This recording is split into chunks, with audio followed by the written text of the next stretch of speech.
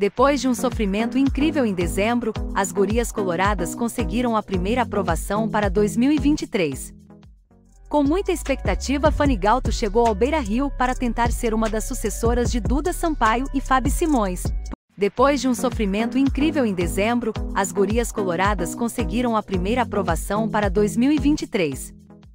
Com muita expectativa, Fanny Galto chegou ao Beira Rio para tentar ser uma das sucessoras de Duda Sampaio e Fábio Simões, porque pode jogar nos dois áreas. Do meio-campo que Maurício Salgado deverá substituir naturalmente.